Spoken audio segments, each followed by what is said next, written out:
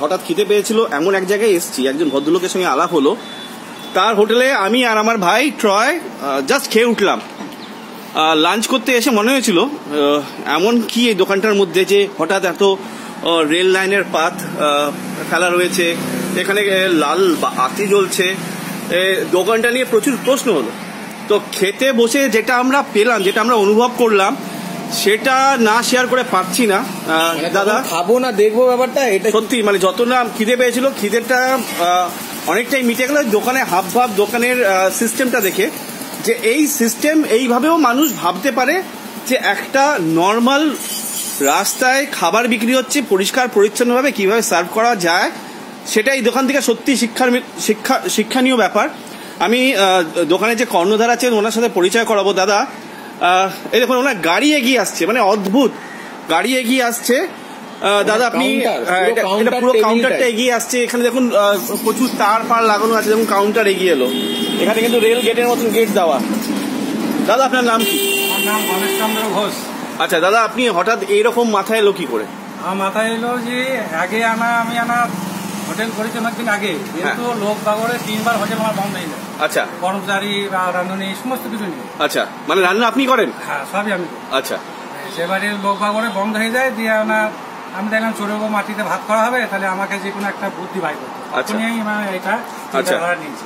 আচ্ছা আচ্ছা এটা যখন আপনি খাবারটা দেন লোককে তখন কীভাবে এই গাড়িটা দেখলাম আপনি ঘুরিয়ে হ্যাঁ। ঘুরিয়ে দিচ্ছিলেন? হ্যাঁ। কীভাবে ঘোরাচ্ছিলেন গাড়িটাকে? এরকম করে কীরকম করে ঘোরাচ্ছিলেন? এই গাড়িটা ঘুরে গেল। ধরুন এখানে খেতে বসেছে। হ্যাঁ এইভাবে। এই যে আমরা পিছিয়ে একটা জিনিস আমি দেখাই। এই যে এই যে খাবারটা আমরা খেয়ে উঠেছি দাদা এখানে আমরা খেয়ে উঠেছি। খেয়ে উঠেছি আপনার হাতে তো লোক নেই। আপনি আবার পিছিয়ে যান আপনার ট্রলিটা নিয়ে। আপনি পিছিয়ে যান। দাদা ট্রলি নিয়ে পিছিয়ে গেল খাবারটা মানে আমাদের সঙ্গে কথা বলে। এই যে এঠো প্লেটটা পড়ে আছে, এই যে খাবার, খাবারে এঠো প্লেটটা পড়ে আছে, এই প্লেটটা কোনো কিন্তু সার্ভিসের ছেলে নেই, কিন্তু খাবারের এঠো প্লেটটা ঠিক এই ডাস্টবিনে এসে পড়বে। দাদা, কীভাবে আসবে এটা? এই দেখুন খাবারের প্লেট এগিয়ে আসছে। জাস্ট কনভেয়ার বেল্ট তৈরি করেছে, আমরা বিদেশে দেখে থাকি, অনেক নামি নামি কোম্পানি দেখে থাকি। এই খাবারের প্লেট কিন্তু এঠো প্লেট পড়ে গেল। এবার একটা ট্রলি আমি এখানে দেখতে পাচ্ছি, সেই ট্রলিটাও আপ ডাউন করে। কেউ জল চাইলো, যা হাতের কাছে জলটা চলে গেল। চলে গেল। আবার আবার এগিয়ে আসবে, কেউ যদি দাদা, এক গ্লাস জল, বা একটু খাবার বা কিছু একটা দিন।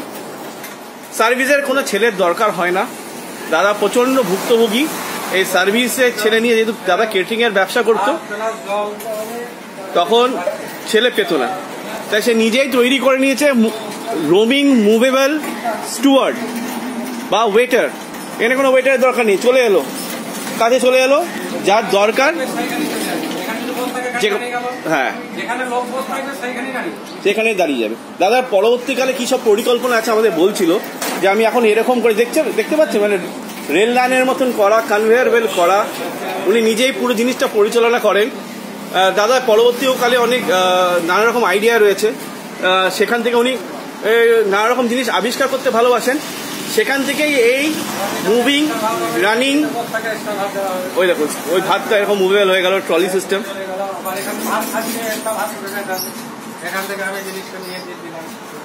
বাহ বাহ। বাহ। হ্যাঁ। হ্যাঁ। দাদা একটা জগ আপনি ট্রলিতে দিয়ে পাঠান তো একটা জলের জগ ট্রলিতে করে আসছে, দেখুন কীভাবে কেউ জল চাইলো? এবার জল শেষ হয়ে গেছে জল চাইলে। দাদা জল নাই জল দেন হ্যাঁ কোনো লোকের দরকার নেই কিন্তু জল নিয়ে নিয়ে চলে এলো ট্রলিতে করে।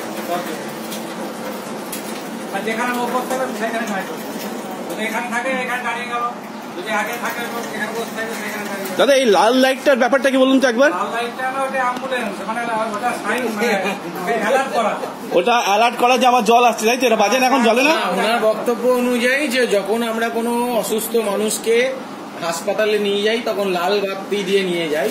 তেমনি উনি ওনার বক্তব্য হচ্ছে লাল বাতিটা এই কারণে উনি মানুষকে খাইয়ে জীবন সজাগ- জীবন দান করছেন সজাগ করছেন। বাহ। যে আপনার খাবার এসে আমার বক্তব্য লাল বাতিটা কারণ যে মানুষটা না ডাক্তার কাছে যায় মানে লাল বাতি নিয়ে রুটির জন্য ওষুধ দিয়ে মানুষ বাঁচায় ডাক্তার। আর আমি কি করছি খাবার দিয়ে মানুষকে বাঁচাইছি। তাহলে এটাও একটা অ্যাম্বুলেন্সের কাজ। একদম মানে এটা অ্যাম্বুলেন্সের কাজ। ওই জন্য লাল বাতিটা লাগানো কারণ একদম খুব ভালো পরিষেবা পরিষেবা পাওয়া। অনেক অনেক ধন্যবাদ আপনাকে দাদা। ভালো থাকবেন।